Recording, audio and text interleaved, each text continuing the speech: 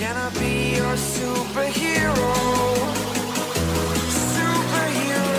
und herzlich willkommen zurück auf meinem Kanal. Ich bin der Christian und heute das angesprochene zweite Fantasy-Orakelspiel AFC Richmond.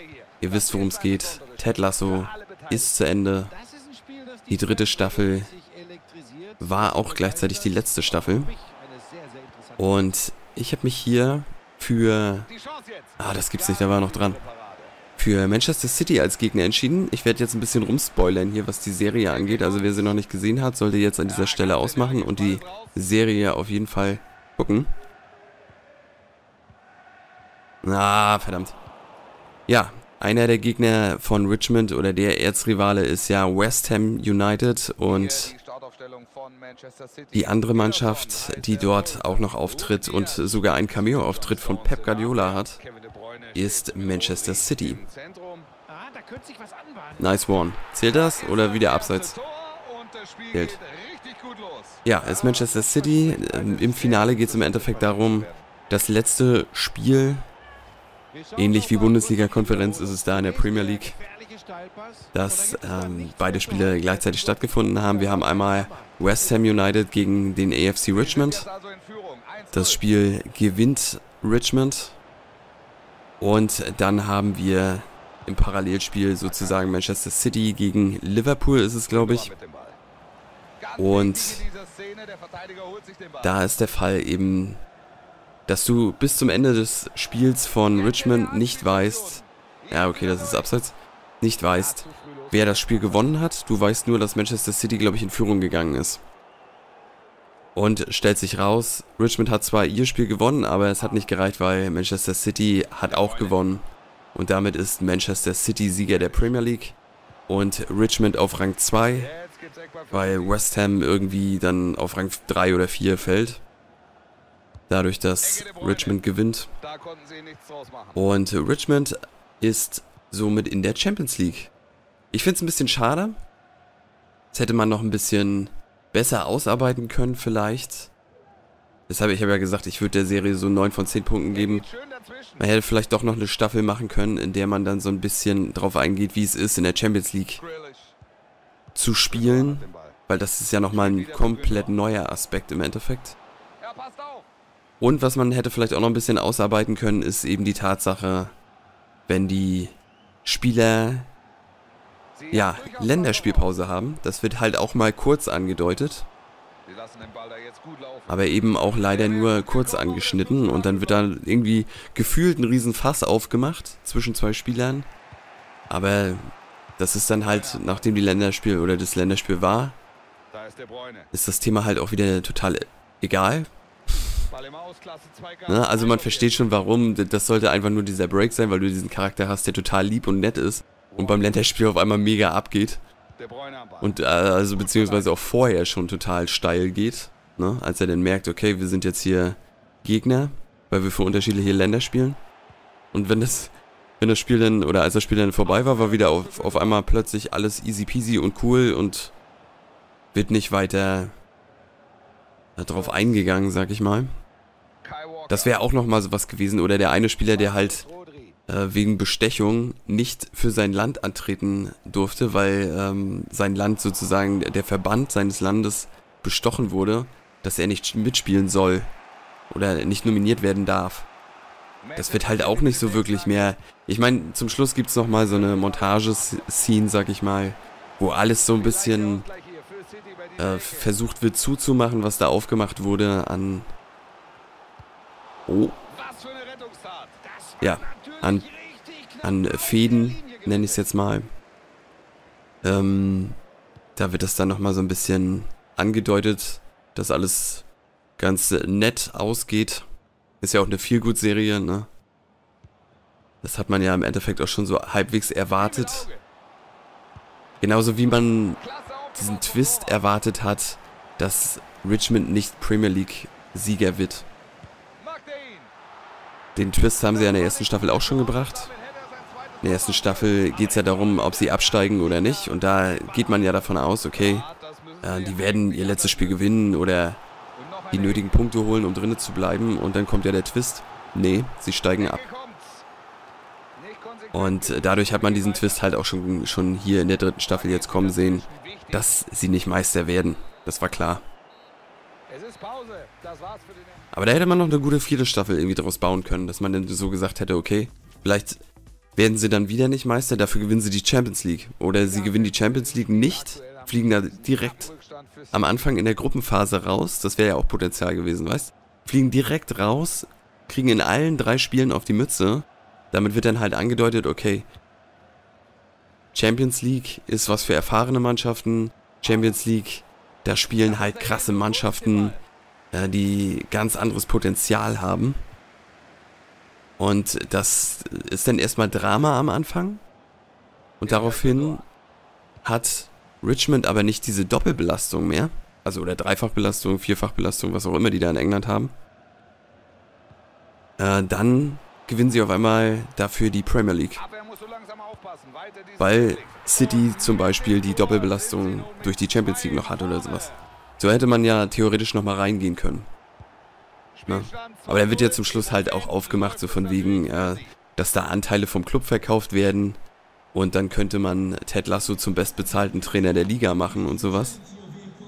Und das nimmt er ja nicht an. Aber er war ein guter Versuch.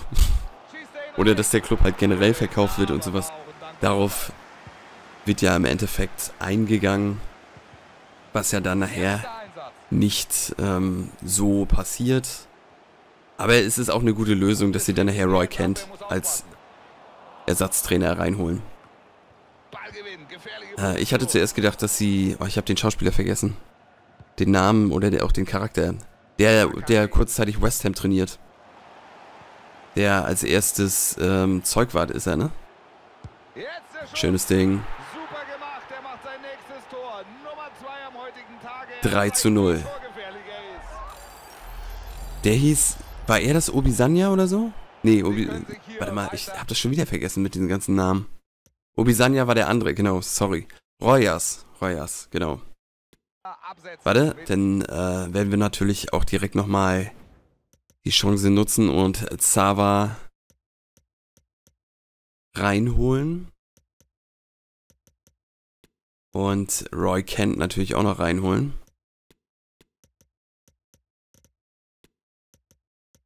Um hier nochmal ein bisschen frischen Wind nach vorne zu bringen. Und die Spieler natürlich nicht außen vor zu lassen. Ne? Aber ich sag ja, das ist einfach so eine Feel-Good-Serie. Ich muss sagen, in der dritten Staffel da war mir die ein oder andere Folge ein Ticken zu lang, beziehungsweise man hätte da vielleicht ähm, hier und da noch ein bisschen mehr in die Richtung Fußball gehen können. Ich meine, die Serie zeichnet sich natürlich in erster Linie äh, nicht unbedingt für Fußball aus, sondern für diese zwischenmenschlichen Aktionen, was sie ja auch immer wieder grandios machen. Was aber hier und da in der dritten Staffel so ein bisschen... Ja, da, da hat man schon so ein bisschen gemerkt, okay, als wenn sie sich da so ein bisschen verlaufen hätten. So ein bisschen, wir haben so ein bisschen die Sachen aufgemacht, so, die nicht unbedingt Not getan hätten, wo man sich schon so, so denkt, okay, jetzt ist das Drama ein bisschen zu groß gemacht. Na, das habt ihr euch so ein bisschen zu sehr reingedrückt, so ein bisschen Vorschlaghammermäßig. Das hätte so theoretisch nicht stattfinden müssen. Das hätte man auch ein bisschen lockerer klären können. So generell fand ich, dass sie in der dritten Staffel halt ein paar Sachen aufgemacht haben, ich sag ja, da hätte man vielleicht noch eine vierte Staffel draus machen können. Oder man hätte, man hatte ja zwölf Folgen Zeit, also man hätte ja vielleicht ein bisschen straffen können alles. Äh, beziehungsweise man hätte äh, dann vielleicht auch gewisse Sachen ein bisschen eingekürzt und andere Sachen dafür ein bisschen ausspielen können. Aber gut, das ist eben seine Sache, wie er da im, im Prinzip seine Serien aufbaut oder äh, wie andere Leute das dann halt empfinden. Ne?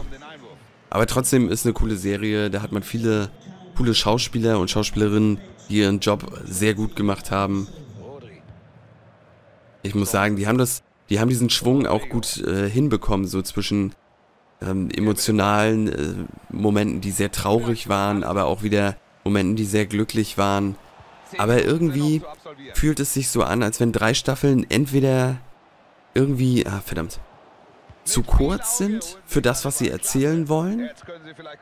Oder auch irgendwie, zu viele Themen vielleicht aufgemacht. Ah, Alter, dass er den noch reinkriegt da in die Nummer. Stark. Dass er den da noch reinbekommen hat. So, ich habe den Torwart noch versucht, äh, möglichst früh rauszuholen, aber trotzdem kriegt er das Ding so noch reingehoben.